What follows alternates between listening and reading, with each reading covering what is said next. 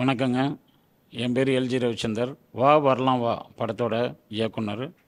இப்போ இந்த படத்தை பற்றி சொல்லணும்னா பாலாஜி மகானா சஞ்சீவி காயத்ரி மாயம் கோபி தீபா மேடம் இப்படிலாம் நிறைய ஆர்டிஸ்ட்டு கிங்ஸ்லி நடிச்சிருக்கா அப்படி இந்த படத்தை பொறுத்த வரைக்கும் ஒரு நாற்பது குழந்தைங்கள வச்சு ஒரு கடத்தல் பேஸ் பண்ண ஒரு கதை. இந்த கதை வந்து பார்த்திங்கன்னா செங்கல்பட்டு வேடந்தாங்கல் அந்த சுற்று வட்டாரங்களில் தான் ஷூட்டிங் நடந்தது.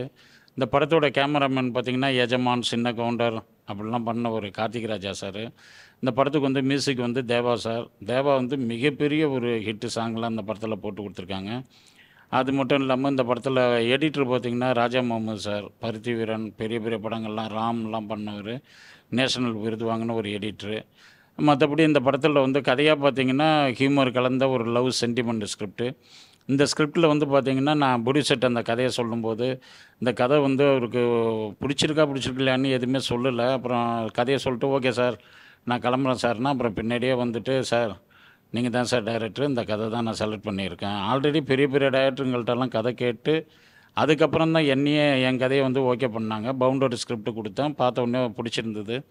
ஓகே சார் இந்த படத்தை நம்மளே பண்ணுவோம் நானே தயாரிக்கிறேன். நீங்கள் டைரக்ஷன் பண்ணுங்கங்கிற மாரி இந்த ப்ராஜெக்ட் ஆரம்பித்தோம் போனீங்கன்னா ஒரு டூரு போன மாதிரி தான் இருந்தது. ஒரு டென்ஷன் நான் ஆல்ரெடி நாலு படம் டைரக்ஷன் பண்ணியிருக்கேன். மாசாணி படம் நான் தான் டைரக்டரு அதுக்கப்புறம் கவிதாலயா ப்ரொடக்ஷனில் நான் அவளை சந்தித்த போதுன்னு ஒரு படம். அதுக்கப்புறம் பரத்தை வச்சு படம் பண்ணேன். ஐந்தாம் தலைமுறை சித்த சிகம்னி அது ஃபுல் காமெடி படம்.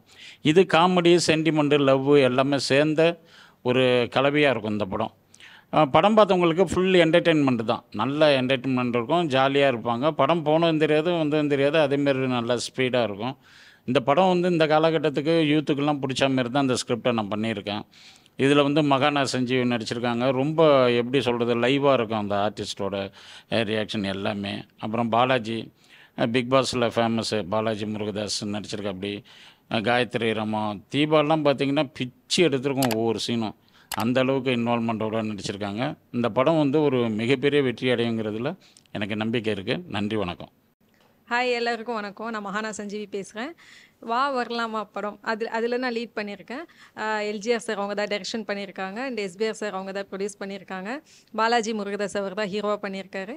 ஆஹ் சிங்கம்புலி சார் தீபா அதுக்கப்புறம் தீபாக்கா அதுக்கப்புறம் மைம் கோபி சார் இவங்க எல்லோரும் சேர்ந்து ஃபுல் அண்ட் ஃபுல் அந்த செட்டே ஃபன்னாக தான் இருந்துச்சு. எல்லாரும் சேர்ந்து காமெடி பண்ணியிருக்காங்க. நல்லா இருக்குது comedy and emotional drama love connectivity sentiment இப்படி எல்லாமே இருக்குது Uh, ஸோ ப்ளீஸ் எல்லாரும் சப்போர்ட் பண்ணுங்கள் தேட்டருக்கு வந்து பாருங்கள் வா வரலாம் வா. தேங்க்யூ ஸோ மச் வணக்கம் நான் உங்கள் காயத்ரி ரமா. டிசம்பர் ஒன்றாம் தேதி வா வரலாம் வா ரிலீஸ் ஆக போகுது. நான் ரொம்ப எக்ஸைட்டடாக இருக்கேன். ஏன்னா வருஷம் முடிய போகுது. ஸோ கலகலப்பாக சிரிப்பாக சூப்பராக இந்த வருஷத்தை முடிக்கணும். அப்படின்னா டிசம்பர் ஒன்றாம் தேதி தேட்டர்ஸ்க்கு வாங்க. வா வரலாம் வா. இந்த படத்தை நம்ம வந்து பார்க்கலாம். கூடவே சேர்ந்து பார்க்கலாம். அண்ட் கூடவே சேர்ந்து சிரிக்கலாம். கூடவே சேர்ந்து என்ஜாய் பண்ணலாம். மகிழ்ச்சியாக பார்த்துட்டு நம்ம வந்து அடுத்த வருஷத்தை முன்னோக்கி போகலாம். சீக்கிரமா வாங்க. வா வரலாம். வா டிசம்பர் ஒன்றாம் தேதி. நான் வா வரலாம் வா ப- திரைப்படத்தோட ப்ரொடியூசர் டைரக்டர் பேசிகிட்டு இருக்கேன். வா வரலாம் வா. ஏன் பார்க்கணும்னாக்கா இந்த படத்தில் நாற்பது குழந்தைங்க நடிச்சிருக்காங்க. குடும்பமாக வந்து எல்லாம் பார்க்கலாம். முப்பது நாற்பது வருஷத்துக்கு அப்புறம் குழந்தைங்களுக்கு தேவையான விஷயத்தை இந்த படத்தில் நிறைய வச்சுருக்கோம். தேவா சார் மியூசிக் பண்ணியிருக்காரு எல்லாம் குடும்பத்தோடு வாங்க. தியேட்டரில் வந்து படத்தை பாருங்கள் நன்றி வணக்கம்.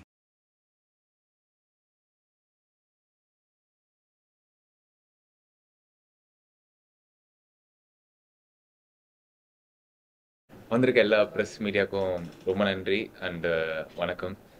படம் பார்த்துருப்பீங்கன்னு நினைக்கிறேன். ரொம்ப ஹார்ட் ஒர்க் போட்டு மொத்த டீமும் உழைச்சிருக்கோம். இது அக்னி வெயிலில் யாருமே ஷூட் பண்ணாத டைமில் ஷூட் பண்ண படம். ரொம்ப உழைச்சிருக்கோம் கஷ்டப்பட்டிருக்கோம். அதுக்கான அவுட்புட் வந்திருக்கும்னு நம்புகிறேன் இப்போ இந்த படம் எஸ்ஜிஎஸ் மீடியா கிரியேட்டிவ் மீடியா தயாரிச்ச இந்த படம் வா வரலாம் வா. படம் வந்து பார்த்தீங்கன்னா ரொம்ப ஜாலியான படம். எல்லாருக்கும் பிடிக்கும். என்னன்னா உங்களுக்கு யூஸ்வலாக என்னென்னலாம் மக்களுக்கு தேவையோ அது எல்லாமே இந்த கதையில் இருந்தது. அமைஞ்சிருக்கு நாங்கள் அமைக்கல. மற்றபடி நல்ல மெசேஜ் சொல்லியிருக்கோம். இந்த படம் வந்து நல்ல ஒரு நம்ம ஒரு ஹீரோவை அறிமுகப்படுத்துகிறோம் பாலாஜி முருகதாஸ் ப்ளஸ் இவங்களுக்குள்ள கோஆர்டிஸ்ட் வந்து காயத்ரி ரமம் நம்ம மகானா. சிறப்பான முறையில் இந்த படத்தில் நடிச்சிருக்காங்க. இந்த படத்தை வந்து ஒரு ப்ரொடக்ஷன் கம்பெனி புது ப்ரொடியூசர் இந்த படத்தை வந்து இந்த கதையை நம்பி வந்திருக்காங்க.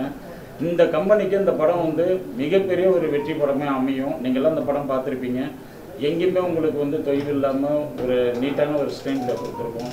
மற்றபடி இந்த படத்தில் நடித்த நம்ம அதர் ஆர்டிஸ்ட் மயம் கோபி சார் எல்லாருமே பார்த்தீங்கன்னா அவங்களோட கேரக்டர் வந்து உணர்ந்து இன்வால்மெண்ட்டோட பண்ணியிருக்காங்க.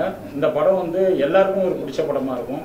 வா வரலாம் வா. கண்டிப்பாக வந்து ஒரு ஆடியன்ஸை இந்த தேட்டர் கூப்பிட்ற மாதிரி சென்டிமெண்ட்டாக நம்ம ப்ரொடியூசர் வச்ச டைட்டில் தான் இது. சென்டிமெண்ட்டாகவே அந்த டைட்டில் வந்து ஒர்க் அவுட் ஆகிடுச்சு இந்த படம் வந்து மிகப்பெரிய வெற்றி அடையும். நன்றி எல்லா ப்ரெஸ்க்கும் வணக்கத்தை சொல்லிக்கிறேன். வா வரலாம் வா எங்கள் டீமுக்கும் டெக்னிக்கல் டீமுக்கும் ஆர்டிஸ்ட் டீமுக்கும் எல்லாருக்கும் என்னோட வணக்கத்தையும் நன்றியும் சொல்லிக்கிறேன். வா வரலாம் வா ஏன் வந்து எல்லாம் தேட்டருக்கு பார்க்கணும்னா ஒரு குழந்தைங்களோட வந்து பார்க்கலாம். ரொம்ப நாளுக்கு அப்புறம் குழந்தைங்கள வச்சு எடுத்த படம். குழந்தைங்களுக்கான தேவையான சாங்கெல்லாம் இருக்கு. தேவா சார் இருக்காரு இதுல. பெரிய பெரிய ஆர்டிஸ்ட்லாம் ஷார்ட் டைம்ல நாங்க எடுத்தாலும் புது கம்பெனியா இருந்தாலும் எல்லா பெரிய ஆர்டிஸ்டும் சிங்கம்புலி சார்ல Singampuli sir mime mime Gopi sir அப்புறம் விடிங் கிங்ஸ்லி நம்ம ஹீரோ ஹீரோயின்ஸ் இவங்கெல்லாம் பார்த்தீங்கன்னாக்கா எல்லாமே படம் ஃபுல்லாக ட்ராவல் ஆவாங்க ஏதோ சின்ன சின்ன கேரக்டருக்கோசரம் நாங்கள் வைக்கல. பெரிய ஆர்டிஸ்ட் பட்டாலுமே இந்த படத்தில் நினச்சிருக்கு எல்லாம் வாங்க தேட்டருக்கு வந்து உங்கள் சப்போர்ட்டை கொடுங்க. எல்லாருக்கும் அட்வான்ஸ் நியூ இயர் விஷயத்தை சொல்லிக்கிறேன். அதை தாண்டி கூடிய விரைவில் உங்கள் எல்லாரையும் சக்ஸஸ் மீட்டில் மீட் பண்ணுவோம். நன்றி வணக்கம். நான் மகானா சஞ்சீவி. வா வரலாம் வா படத்தோட ப்ரெஸ் மீட்டில் தான் இருக்கும். ஆஹ் படம் ரொம்ப நல்லா வந்திருக்கு. எஸ்டிஎஸ் கிரியேட்டிவ் மீடியா ப்ரெசென்ட் பண்ணியிருக்காங்க. சார் எஸ்பிஆர் சாரும் எல்ஜிஆர் சாரும் சேர்ந்து டைரக்ஷன் பண்ணியிருக்காங்க. படம் ரொம்ப நல்லா வந்திருக்கு. சென்டிமெண்ட் எமோஷ்னல் கொஞ்சம் லவ் இருக்குது அதுக்கப்புறம் நாற்பது குழந்தைங்களுக்கான ஒரு விஷயமும் ஒன்று இருக்குது கண்டிப்பாக குழந்தைங்களுக்கு பிடிக்கும். ஃபேமிலி ஃபேமிலி ஆடியன்ஸுக்கும் ரொம்ப பிடிக்கும். ஃபேமிலியோட வந்து பாருங்கள் தேவா சார் மியூசிக்கில் சாங் ரொம்ப நல்லா வந்திருக்கு. பாலாஜி முருகதாஸ் சூப்பராக பண்ணியிருக்காரு எல்லா ஆர்டிஸ்டுமே ரொம்ப நல்லா பண்ணியிருக்காங்க ஃபுல் அண்ட் ஃபுல் காமெடியாக இருக்குது சப்போர்ட் பண்ணுங்க எல்லாருமே. தேங்க்யூ ஸோ மச் வா வரலாம் வா. டைட்டிலே வந்து உங்களை வரவேற்கிறது தான். ஸோ நாங்கள் எல்லாருமே சேர்ந்து டீமாக உங்களை வந்து வரவேற்கிறோம். இந்த வருஷம் நம்ம முடிக்கிறது வந்து பேங்கா முடிக்கணும். நல்லா சிரிச்சு ஜாலியா நல்ல ஒரு பாசிட்டிவ் நோட்ல நம்ம முடிக்கணும்.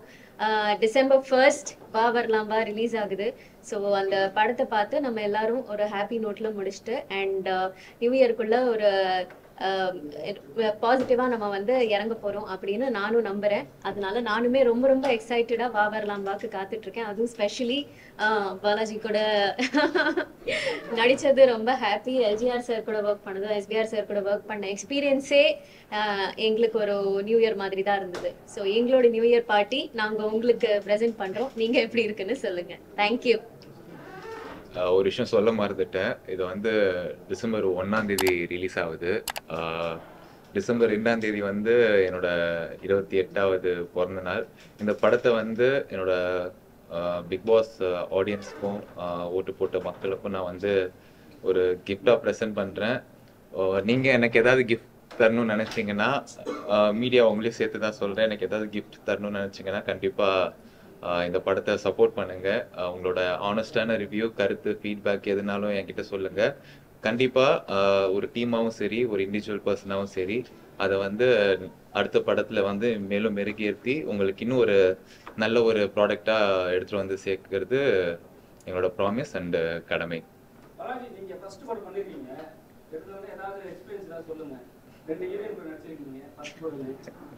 எங்க படத்துல ஒரு ஹீரோயின் தாங்க எனக்கு பேரு. இன்னொன்னு வந்து கிங்ஸ்லி பிரதருக்கு பேரு. ஆக்சுவலா சாங்ல இன்னொரு ஹீரோயினும் கொடுத்தாங்க. ரெண்டு ஹீரோயின் இருக்காங்க.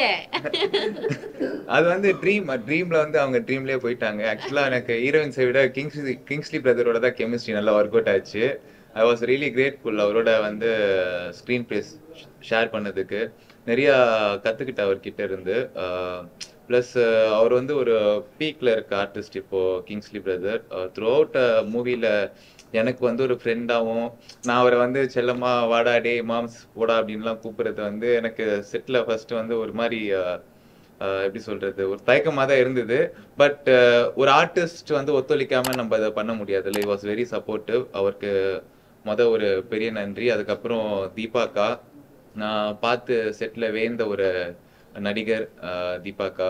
அவ்வளோ பிரமாதமான ஒரு ஆர்டிஸ்ட் அவங்க. சிங்கப்பூலி அண்ணன் சொல்லவே தேவையில்ல. அதுக்கப்புறம் வையாபுரி எல்லாரும் மறந்துட்டீங்க. அவர் ஸ்டார்டிங்கில் வந்திருப்பாரு. அவ்வளோ நல்லா அவர் வந்து பெர்ஃபார்ம் பண்ணியிருந்தாரு. ப்ளஸ் ஆல் த ஆர்டிஸ்ட் மெயினாக சரவண சுப்பையா சார் ஒரு போலீஸாக அவரோட கடமையை வந்து பக்காவாக பண்ணியிருந்தாரு ஒரு ஆர்டிஸ்டாகவும் so and Bayilvan Ranganathan sir Meesai Rajendran அண்ணன் அந்த மாதிரி நிறைய பேர் வந்து இந்த படத்தில் வந்து நடிக்க ஒத்துக்கிட்டதுக்கு I'm really thankful and grateful எனக்கு எக்ஸ்பீரியன்ஸ் எப்படி இருந்தால் முதல் படம் நான் வந்து டேரக்டர் கேட்டிங்கன்னா தெரியும். நான் நம்ம டேரக்டர் ஸ்பெட் அவர் என்ன சொன்னாலும் நான் என்னைக்குமே ஷூட்டிங் ஸ்பாட்லும் சார் இது அப்படி பண்ணலாம் அது இப்படி பண்ணலான்னு கரெக்ஷன் பண்ணவே இல்லை.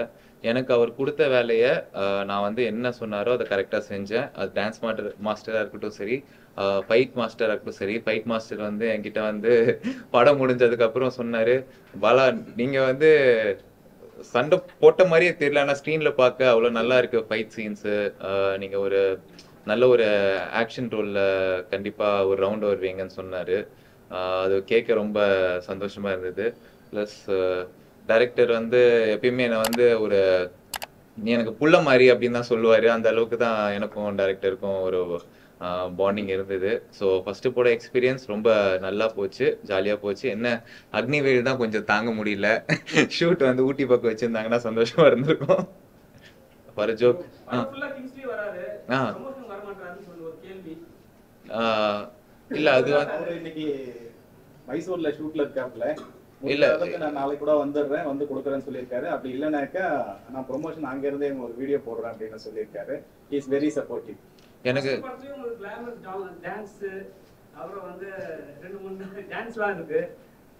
கிளாமர் டான்ஸ் எங்கன்னா சீன்ல தாங்க சட்டையை கழட்டி இருப்பேன் படத்துல. அடுத்த அடுத்த படத்துல பாருங்க சட்டையே இருக்காது. இதெல்லாம் கிளாமர் இல்ல. கிங்ஸ்லி பிரதர் பத்தி கேட்டீங்களா? ப்ரொமோஷன் வரேன் கால் பண்ணாரு கால் பண்ணி வாழ்த்துக்கள் சொன்னாரு. வர முடியாதுக்கான காரணமும் என்கிட்ட சொன்னாரு. அடுத்த படத்துல சேர்ந்து இன்னும் நல்லா ஒர்க் பண்ணலாம் அப்படின்னு சப்போர்ட்டிவா தான் அவர் பேசினாரு. ப்ரொமோஷன் வர முடியாதுன்னு இல்லைங்க. எல்லாரும் வந்து இப்போ நான் ஹீரோவா நடிச்சிருக்கேன் என்னோட முதல் கடமை என்னதான் எனக்கு வந்து வேலை பிரச்சனை ஒர்க்கு உடம்பு சரியில்லை எதா இருந்தாலும் வர வேண்டியது என்னோட கடமை ஒரு ஹீரோவா. அதை தாண்டி மற்ற ஆர்டிஸ்ட்லாம் பார்த்தீங்கன்னா அவங்க அவங்களுக்கு வேற வேற படங்கள் இருக்கும்ல. ஸோ அதை வந்து நம்ம என்னைக்குமே தப்பா எடுத்துக்கூடாது. நீங்க ப்ரொமோஷன் பிக் பாஸ் நீங்க இந்த சீசன் ப்ரொமோஷன் அந்த மூவிக்கான ப்ரொமோஷன்ஸ் அவங்க உங்க ஏன்னா நீங்க உங்களுக்கு ஸ்டார்டிங் பாயிண்ட் அதானே. நீங்க உள்ள போயிட்டு அதை பத்தி இது பண்ணிருக்காங்க அதை பத்தி ஏதாவது பேசுனீங்க ஆஹ் இல்ல நான் வந்து பிக் பாஸ் பிளாட்ஃபார்ம் வந்து நான் அப்ரோச் பண்ணல ப்ரொமோஷனுக்காக ஏன்னா நான் நேத்து தான் அடுத்த படம் இதுக்கு அடுத்த படம் ஷூட்டை முடிச்சுட்டு இப்போ வந்தேன். ப்ராபப்ளி இதுக்கப்புறம் தான் நான் கேட்கணும் பட் அதுக்கான நேரம் நம்மளுக்கு கிடையாது. ஏன்னா இன்னும் ரெண்டு நாள்ல படம் ரிலீஸ் ஆகுது. ஸோ முழுக்க முழுக்க அதுக்கு நான் தான் காரணம். ஏன்னா வேற படத்தோட ஷூட்டிங்ல இருந்தேன். ரெண்டாவது சாங்ஸ்ல ஒரு ஹீரோயின் வருவாங்க. ஆ. வருவாங்க டக்குன்னு போயிடுவாங்க. சீன்லயே காட்ட மாட்டாங்க. என்ன டேரக்டரோட மெச்சுனா இல்ல உங்களை இல்ல நீங்க வச்சு அவங்க சொல்லி ஹீரோவோட கட்டாயமா இல்லைங்க நான் நான் திருப்பி சொல்றேன். படத்துல எனக்கு அது வேணும் இது வேணும். ஏன் நான் மேக்ஸிமம் ஷூட்டிங் ஸ்பாட்ல கேட்டது வந்து எனக்கு டயட் ஃபுட் மட்டும் தான் கேட்டேன். அதை தவிர்த்து நான் எதுவுமே கேட்கல. ஆமா, சில முட்டைகளை கொடுத்து அவரை சந்தோஷப்படுத்துவாரு. முட்டைகள். முட்டைகள் ஆஹ், என்னது தந்தூரி சிக்கன் அதாவது டயட்ல உடம்பு வேணும்னு கேட்டாங்க படத்துல. குறைஞ்சிடக்கூடாது. ஃபர்ஸ்ட் நாள் வந்து நல்லா பில்ட்டா இருந்துட்டு முப்பதாவது நாள் சொங்கி மாதிரி ஆயிடக்கூடாதுல்ல அதுக்காக கேட்டாங்க. வேற எதுவும் கிடையாது. ஷூட் முடிச்சிட்டு டெய்லியும் டான்ஸ் ப்ராக்டிஸ் ஜிம்முன்னு போயிடுவேன் கண்டினியூட்டிக்காக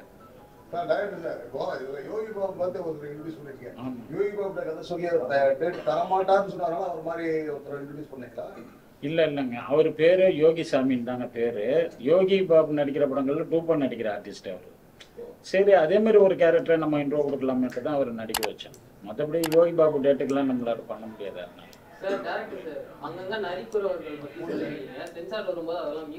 அதெல்லாம் மீட் அதான் படங்கள்ல வராது படத்துல வராது கட் பண்ணிட்டோம் அந்த கெட்டப்பை வந்து வில்லன் போட்டுட்டு ஒவ்வொரு சீனுக்கும் ஒரு கெட்டப்ல வர்றதுனால நிறைய ஒரு கெட்டப் அந்த சென்சார்ல சொன்னாங்க. அதை நாங்க ரிமூவ் பண்ணிட்டோம் கட் பண்ணிட்டோம் அது வேணாம். ஏன்னா நிறைய படங்கள்ல அவங்களுக்கு அந்த நல்லது நல்ல மெசேஜ் நிறைய சொல்லிட்டு இருக்காங்க. இந்த படத்துல அது வேணாம்னு cut இல்ல இல்ல அது வந்து கட் பண்ணிட்டோம். சென்சார்ல வந்து ஆட்சேபனை தெரிவிச்சாங்க. அதனால ரிமூவ் பண்ணிட்டோம். நரிக்கிறோன்றது எங்கேயுமே வராது. எல்லாத்தையும் ரிமூவ் பண்ணிட்டோம்.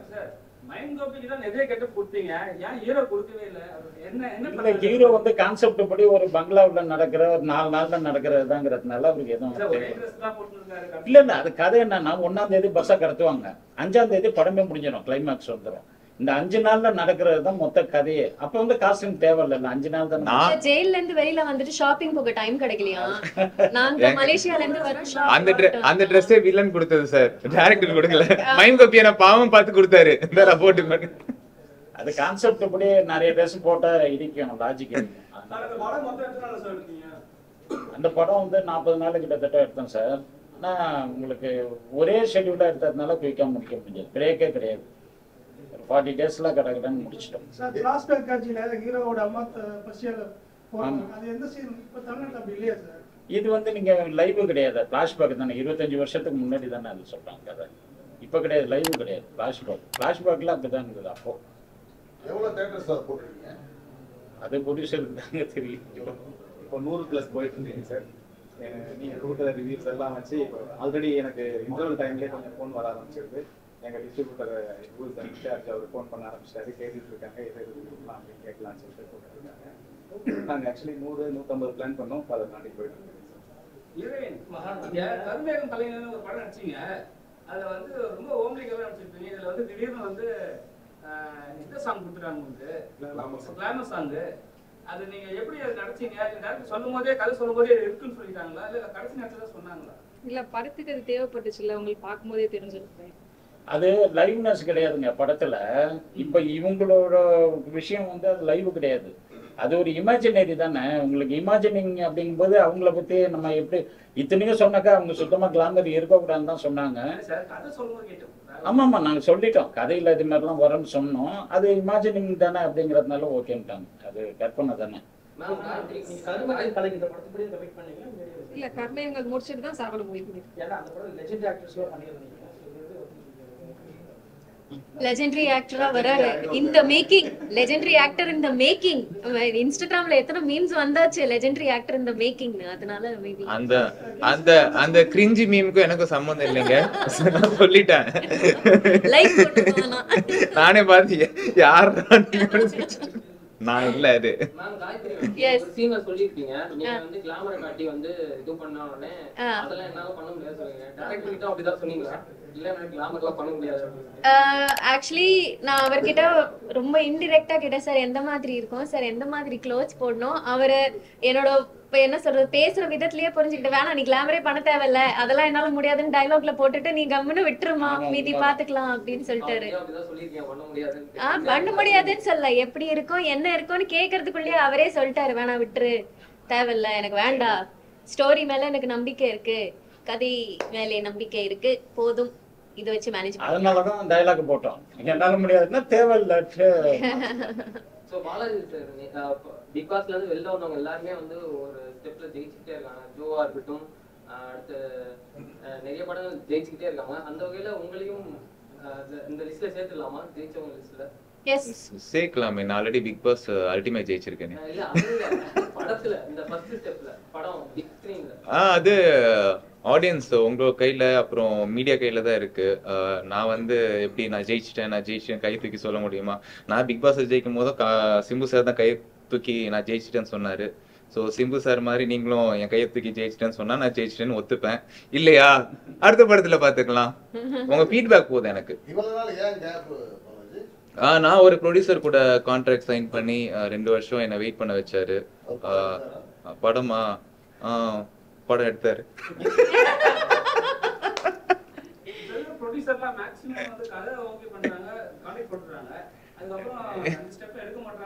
சார் அது என்னன்னா நம்ம வந்து என்னைக்குமே வந்து ஒரு ஆர்டிஸ்ட்க்கு நம்ம வந்து பேமெண்ட்டை கொடுத்து கான்ட்ராக்ட் போட்டு லாக் பண்ணி வைக்கக்கூடாது நம்மளுக்கு அது வெறும் பணம் தான். ஒரு ப்ரொடியூசராக நம்மளுக்கு வந்து அது பணம் தான்.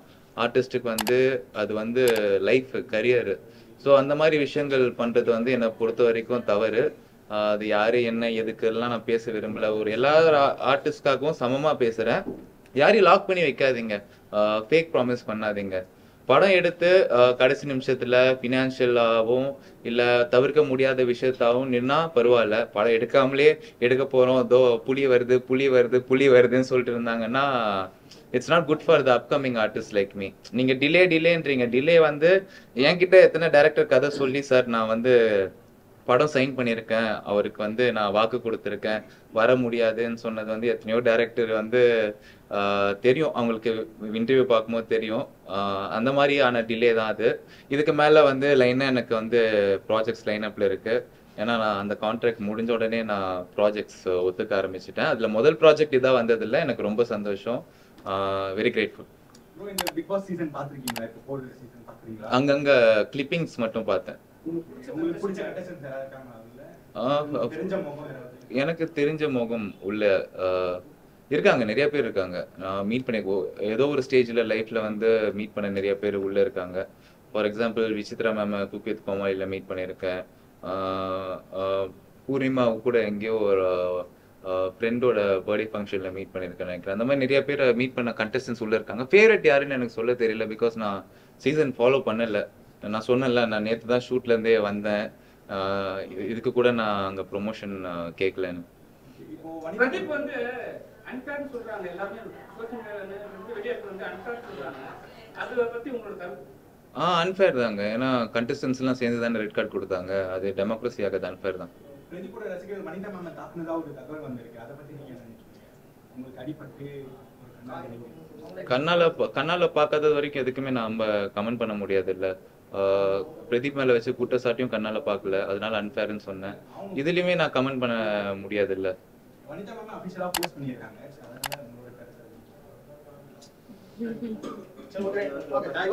எனக்கு கூட கையில அடிபட்டு இருக்கு. ஜிம்ல ஒர்க் அவுட் பண்ணும்போது அடிபட்டுச்சு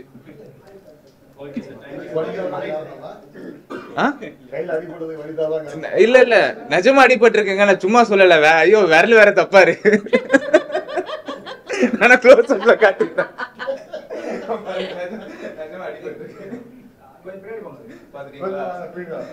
நடுவர்ல காட்டிய பாலன் போட்டு போறீங்க நீங்களே சொல்லுங்க. ஐடியா கொஞ்சம் பார்த்து போடுங்க. அப்புறம் படத்தை பத்தியும் ஒரு ரிவ்யூஸ் வந்து ஆனஸ்டா பார்த்து போடுங்க.